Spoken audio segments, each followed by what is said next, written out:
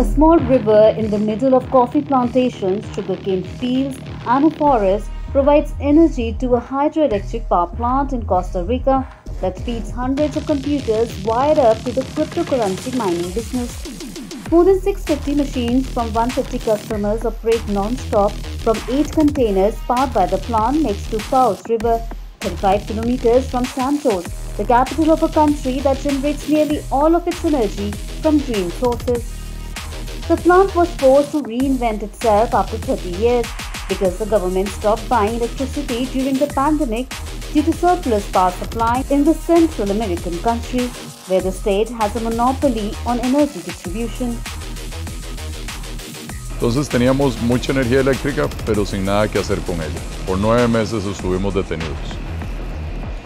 Eh, buscamos muchas alternativas, desde hacer eh, comida freída, desde hacer congelado, todo aquello que utilizara mucha energía.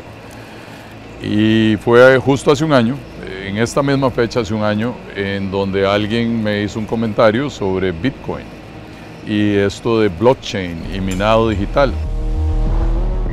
The hydroelectric company, with its three plants valued at $13.5 million and a 3 megawatt capacity, invested $500,000 to venture into hosting digital mining computers. El mercado es el, el, minero internacional que va en busca de las mejores condiciones. Ese minero busca energía limpia, busca energía barata, que le sea económicamente viable y busca conexión a Internet. Donde la encuentre es donde ese minero va a ir. Por supuesto, ahora estamos con el minero local, pero nuestra meta debería ser el minero internacional. So far, all data centers CR's clients are local, but its goal is to reach international miners.